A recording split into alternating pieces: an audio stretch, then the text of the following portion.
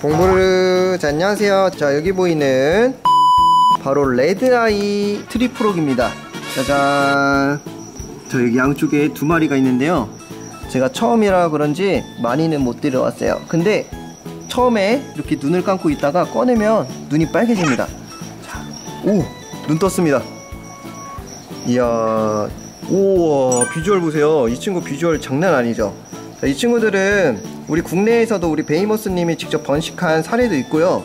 인공사육이랑 번식 모두 다 가능한 종입니다. 자 이 친구는 먹이는 귀뚜라미를 먹는데 어쨌거나 오늘 사육 방법을 간단하게 알려드릴게요.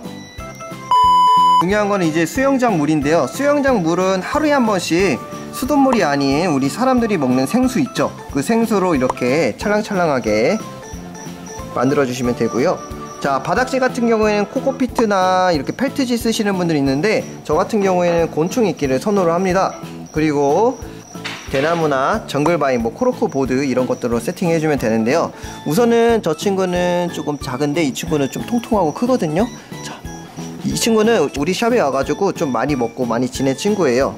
자 우선은 이렇게 생겼습니다. 자, 어떻게 보면 도깨구리 같이 생겼는데 얘네들은 사실상 생긴 것만 그렇지 독이 하나도 없습니다 그리고 수명은 10에서 20년이고 사육 온도 같은 경우에는 일반 뭐 white tree frog이나 Pacman보다는 좀 낮은 온도면 좋아요 어우 입 벌린 거 보세요 어우 귀여워라 눈이 부신가? 자 왜 그러죠?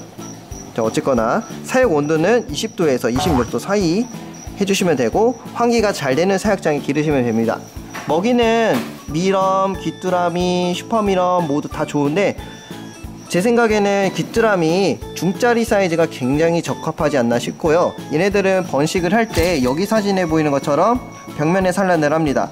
똑같이 올챙이 시절은 물속에 살다가 개구리가 되는 시점 프로그렛이 되는 시점에는 물 위로 올라와서 이런 식으로 유치 생활을 하고 저번에 영상에 보여드린 것처럼 프로글렛 친구들은 이렇게 작지만 생긴 대로 다 생겼어요.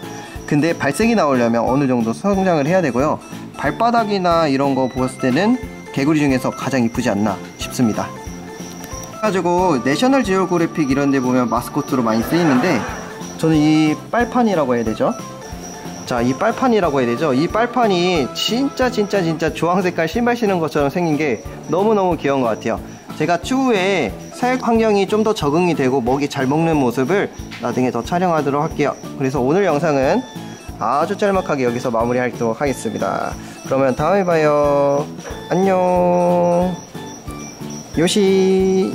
오 눈 감는 거 봐. 와 근데 비주얼이 진짜 너무 신기한 것 같아